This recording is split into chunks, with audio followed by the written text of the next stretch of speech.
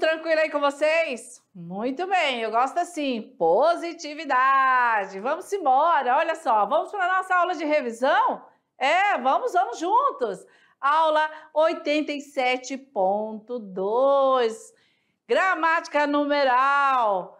Vamos iniciando aí revisar a importância, o que é essa classe gramatical? Qual é a função dela dentro aí de um contexto, dentro de uma oração, beleza? Bom, então numeral é a classe gramatical que tem aí a função, né? Vamos aí pegar a canetinha que está querendo dar um baile novamente. A classe gramatical que tem a função, gente, deixa eu aqui caprichar nessa caneta ela a, tem a função de indicar quantidade ou posição em determinado período ou contexto, tá certo? Ela quantifica ou dá a posição. Beleza, vamos então ver isso no exemplo. Comprei duas motocicletas novas. Então, duas motocicletas está o quê? Quantificando, beleza? Próximo exemplo. Aquele garoto é o primeiro da classe. Então, aqui a classe gramatical, o numeral, primeiro está indicando uma posição, beleza? E o nosso último exemplo, faz três anos que não viajo, né? Então, quantificando também, certo? Três anos que não viajo, beleza? Muito bem. Seguindo agora, vamos falar da flexão dos numerais. Alguns numerais, eles são variáveis em gênero e número. Outros apenas em gênero ou apenas em número. Olha só. E quer dizer que é junto. É, eles vão modificar-se. Eles vão aí variar em gênero e número. Tá? Outro, vou até separar, apenas em gênero ou apenas em número. Duas situações aqui. Então, em gênero e número. Primeiro, primeira. Olha só, masculino e feminino. Primeiros, primeiras, né? Plural, em número. Apenas gênero. Um, uma. Dois, duas. Trezentos, trezentas. Ambos e ambas.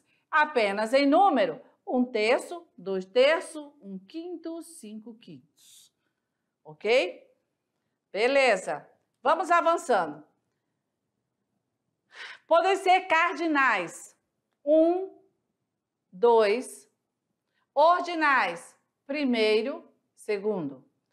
Multiplicativos. Dobro, triplo. Fracionários. Um terço, dois terços. Então, a classificação dos numerais, né? Não esquecer. Eles podem classificar-se como cardinais, ordinais, multiplicativos e fracionários, né? Lembrando dos coletivos, né? Vamos falar aqui.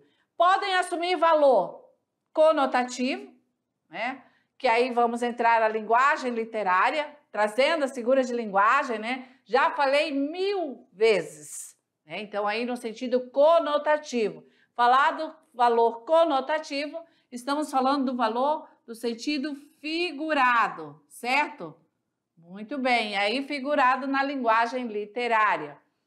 Com algarismo romanos, se colocam à esquerda do substantivo, leem-se com ordinais. Por exemplo, olha só, antes do substantivo, vamos ler, vigésima Bienal do Livro.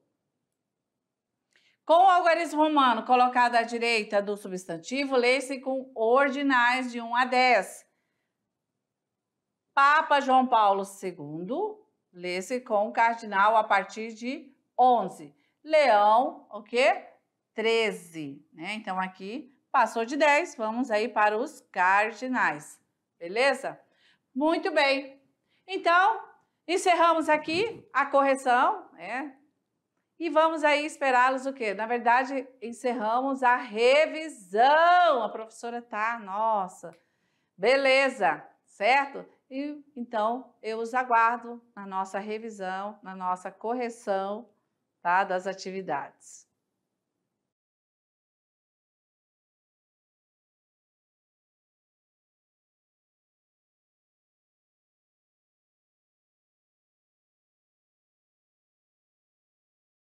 Olá, vamos aí então para o nosso Tirando Dúvidas. É isso mesmo, vamos lá, resolução da atividade de sala.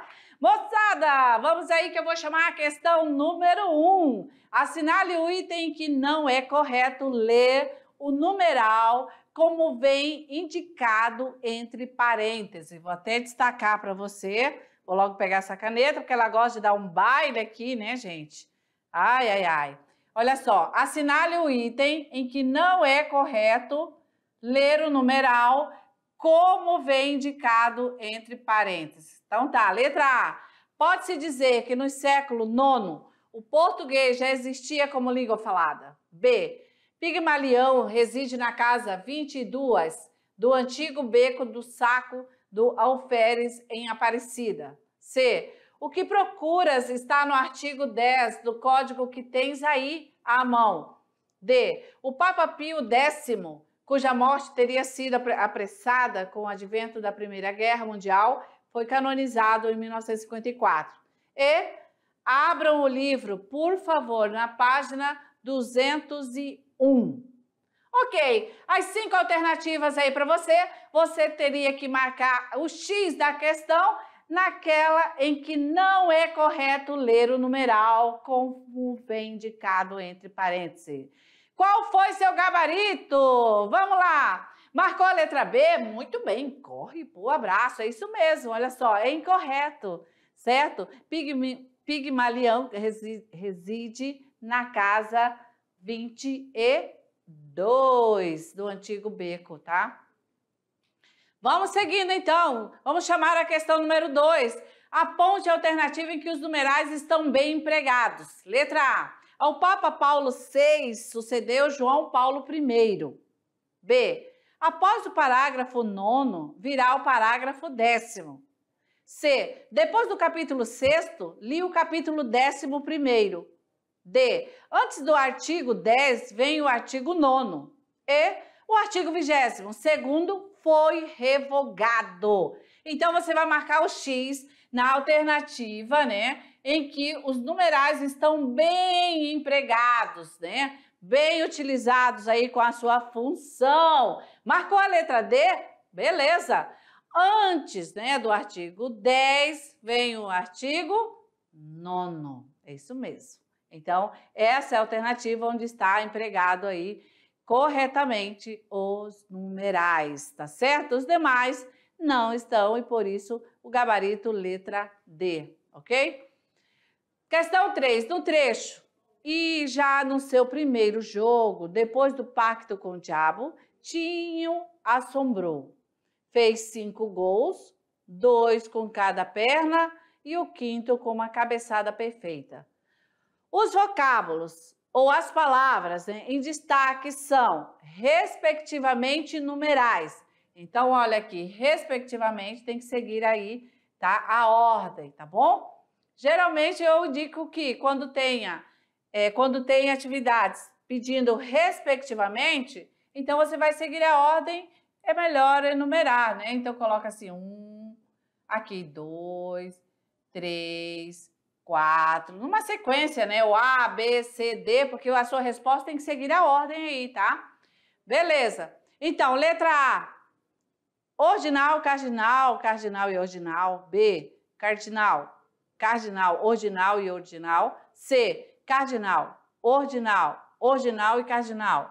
D, cardinal, ordinal, cardinal e cardinal. E E, ordinal, cardinal, cardinal e ordinal.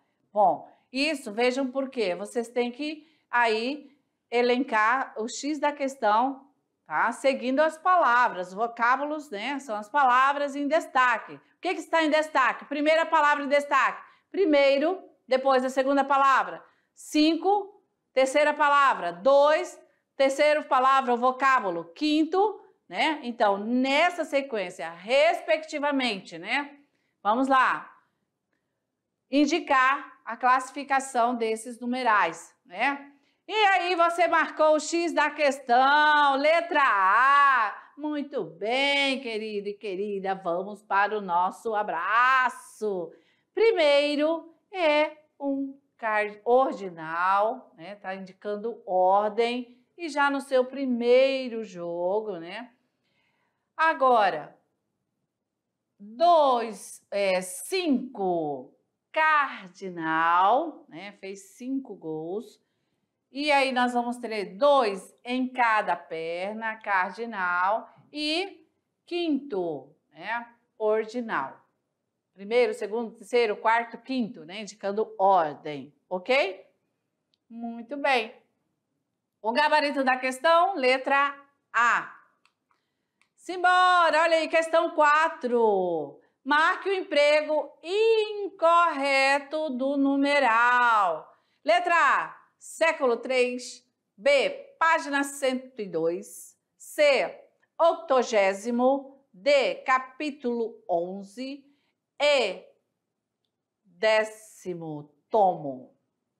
E agora? Analisou com calma, correu lá nas regras que a, que a gente dispôs na aula, fez aí também a observação na aula do resumo. E aí? O gabarito da questão para você, nada mais, nada menos do que a letra A. Está incorreto. O século 3, né? Dessa maneira, ok? Beleza? Terceiro, né? Teria que ser.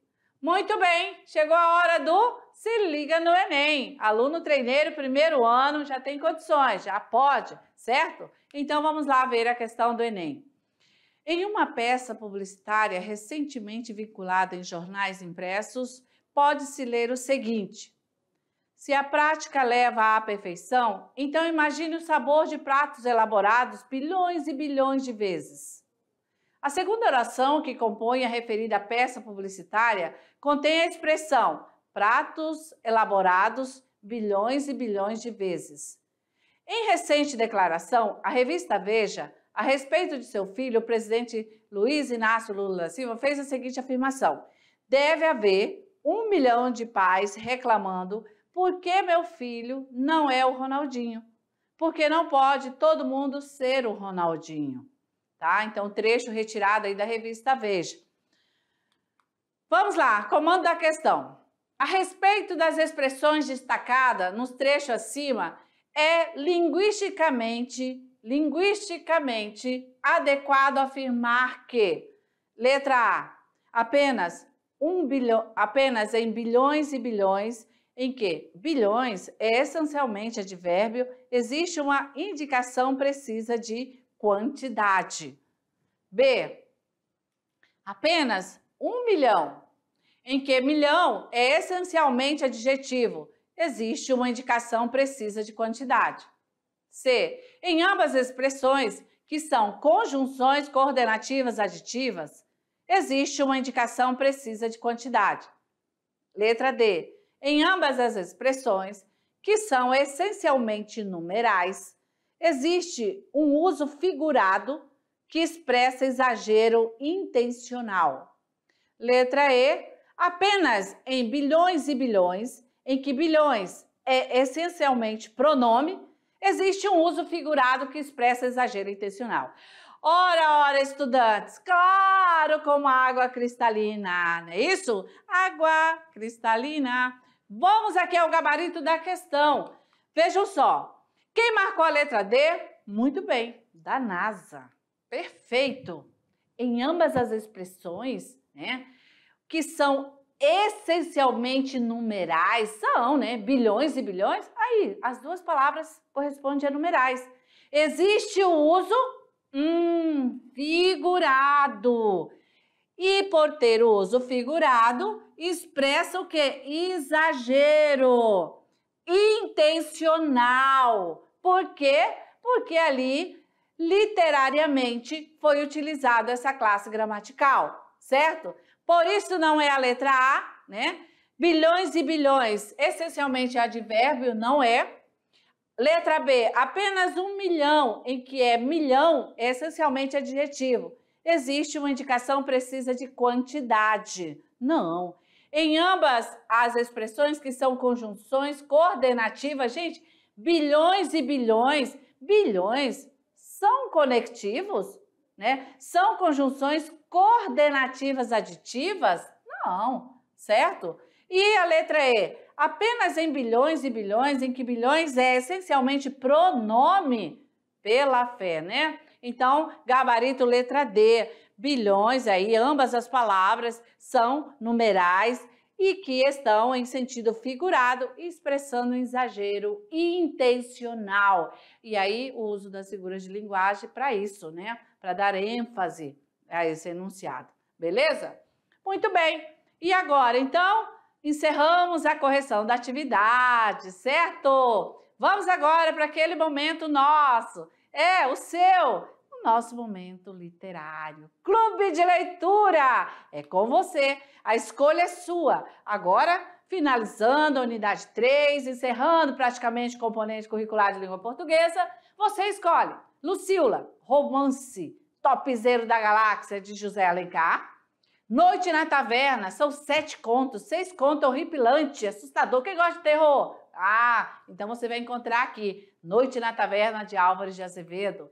Também nós temos Memória de um Sargento de Melícia. É, vai aí vendo que nós temos aí também uma história bem interessante, né? Com posicionamento social, político, bem direitinho. E para quem gosta aí, né, dos nossos, é, das narrativas, né? Os Lusíadas de Luiz Vaz de Camões, trazendo aí a questão da mitologia, certo? Também aí envolvida na narrativa.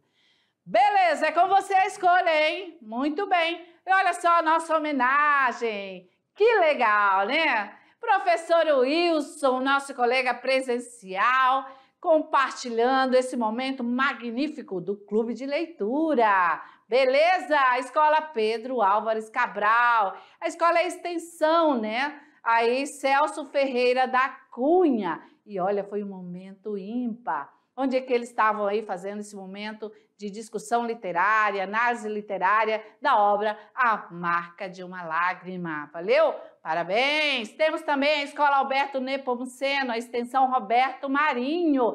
Vejam aí, duas escolas né, sendo socializadas para todos os estudantes de mediação tecnológica, o Clube de Leitura oportunizando essa leitura ímpar, né, em que você pode aí, por um momento, fazer uso da reflexão, colocar as suas ideias, analisar o que o autor aí colocou, fazendo aí esse, esse contexto, né, para a atualidade, ok? E aqui, é claro, a gente agradece, certo?